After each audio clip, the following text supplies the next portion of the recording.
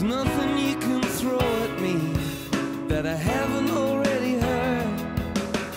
I'm just trying to find a decent melody, a song that I can sing in my own company.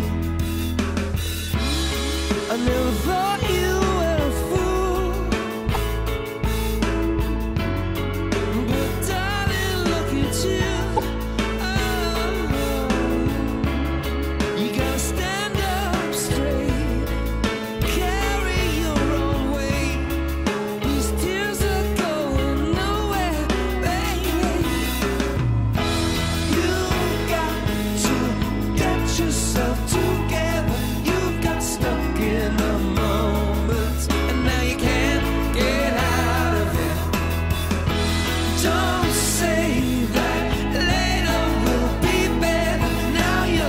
in the